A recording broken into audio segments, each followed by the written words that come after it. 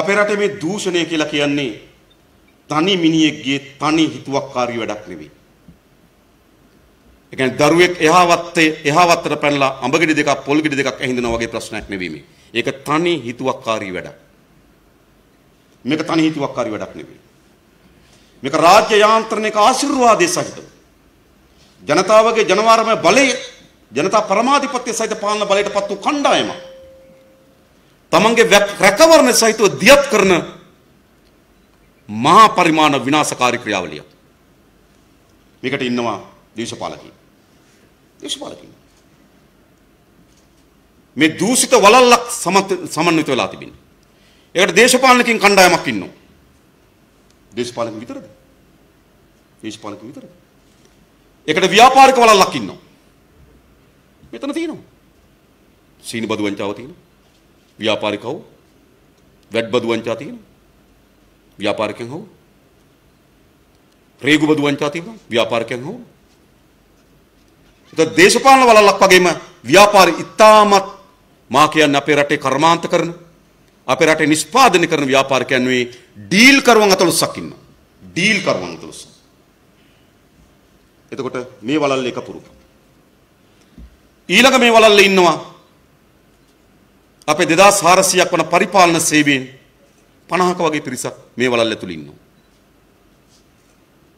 එතකොට මේක රාජ්‍ය පරිපාලනයේ කණ්ඩායමක් මේ දූෂිත වලල්ලේ ඉන්නේ. ඔවුන් පිළිබඳව මේක විස්තර දෙනවා. සමහර ලේකම්වරු සමහර අධ්‍යක්ෂකවරු දැන් මම කලින් කිව්වා අයිවන් සිල්වා ලේකම්වරු ඉතින් ඒ පිළිබඳව තොරතුරු ඊළඟ ඊළඟ මේ දූෂිත වලල්ල ඉන්නවා විමර්ශනය කරන කණ්ඩායමේ කොටසක් 84000ක් වන පොලිසියෙන් කුඩා ප්‍රමාණය. 50ක 60ක කුඩා 13ක් මේ දූෂිත වලල්ලේ කොටස් කරුවෝ. ඊළඟ මේ දූෂිත වලල්ලේ ඉන්නවා යම් මාධ්‍ය හිමිකරුවන් ඔවුනුත් මේ දූෂිත වලල්ලේ කොටසක් ඒක ඇත්ත. මට වඩා මාධ්‍ය විද්‍යාවකන් දන්නවා ඒක දූෂිත වලල්ලේ කොටස තව අපි කැමති වුණත් අකමැති වුණත් යථාර්ථය නම් නීතිය මොකද්ද අධිකරණයට නඩු ගොනු කරන හා නඩු වග විභාගට ලක් කරන තැන්වල මේ දූෂිත වලල්ලේ කොටසක් ඉන්නවා. ඇත්ත මේක. නේද? මම ප්‍රවේශමේ වචනේ පාවිච්චි කරන්නේ. හරිද? ඔයගොල්ලෝ තේරෙනව මොකද කියන්නේ කියලා? මේක තමයි දූෂිත වලල්ල. તો දේශපාලන අධිකාරිය ආණ්ඩුවක් මාරු වුණාම මොකද වෙන්නේ? දූෂිත වලල්ල චුට්ටක් හෙල්ලෙනවා. චුට්ටක් හෙල්ලෙනවා. හෙල්ලිලා අලුත් කණ්ඩායමක් ඇවිල්ලා ස්ථාවර වෙනවා. ව්‍යාපාරික වලල්ල මොකද වෙන්නේ? එක චුට්ටක් හෙල්ලෙනවා.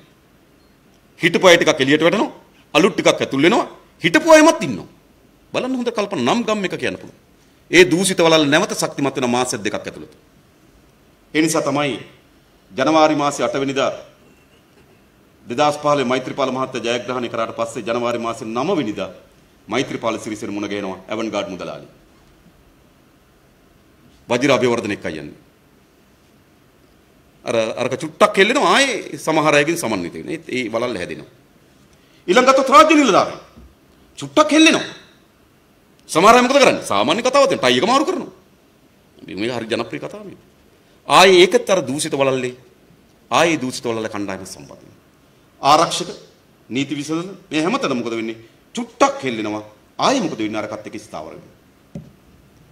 ඒ නිසා අපි හුදු ආණ්ඩු පෙරලියකින් පමණක් මේ දූෂිත වලල්ල පරාජයට පත් කරන්න බෑ. හුදු ආණ්ඩු පෙරලියකින් විතර කරන්න බෑ. මේකට අවශ්‍ය වෙනවා වංචා දූෂණ වලට එරෙහිව ප්‍රබලතම මහජන ව්‍යාපාරය කරා පමණයි මේ දූෂිත වලල්ල පොඩි පට්ටම් කළ හැකි වන්නේ. එහෙම නැතුව බෑ. මේක දූෂිත වලල්ලක්, තාප්පයක්, චීන මාස් පාකාර වගේ. නේද? ගලක් දෙකක් ගැලවෙනවා, ගලක් දෙකක් හයි වෙනවා. ආයෙ ගලක් දෙකක් ගැලවෙනවා, ගලක් දෙකක් හයි වෙනවා. ඒ දූෂිත තාප්පේ ඒ විදිහටම තියෙනවා. මේ පොඩි පට්ටම් කරන්න ඕන. මහජනයාගේ ධනය කෝටි ප්‍රකෝටි ගණන් නැති කරලා අද දරුවට කිරිපි පැකට් එකක් නැතුව අද අපේ රටේ පෝලිං වල 8ක් 10ක් මිය ගියා. නේද? මේ දූෂිත වලල්ල දඬුවම් දෙන්න ඕනේ නැද්ද? අන්නේ දූෂිත වලල්ලත් එක්ක හැප්පෙන්න පුළුවන්කම තිබෙන්නේ අපි හැමදාම කියනවා දූෂිතයෙකුට දඬුවම් දිය හැකි වන්නේ අදූෂිත ව්‍යාපාරයකට විතරයි. අන්න අපි ඒක ගොඩ නගනවා. දූෂිතයෙකුට තව දූෂිතයෙකුට දඬුවම් දෙන්න බෑ. ඉතින් අපි මේ පිළිබඳ කරුණු ඉදිරිපත් ඒ වගේම මේ ෆයිල් පිළිබඳ කිව්වොත් මෙතන දේශපාලකයන්ගේ තියෙනවා. රාජ්‍ය නිලධාරීන්ගේ තියෙනවා. ව්‍යාපාරිකයන්ගේ තියෙනවා.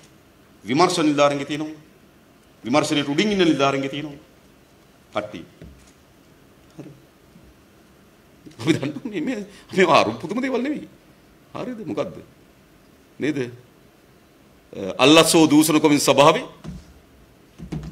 සභාපතිවරයා අල්ලස්සක් අල්ලස්සක් කරන් ඒ අල්ලස් කොමිසම නඩුවක් තියෙනවා. ජනවාරි පළවෙනිදා ඔව් ජනවාරි පළවෙනිදා දාපු නඩුව පැමිණිල්ලක් අපි. දැන් මේ ඒ කියන්නේ අල්ලස්සෝ දූෂණ කොමිස් සභාවේ සභාපතිවරයා නමත් අවශ්‍යද? බාලපට බාලපට.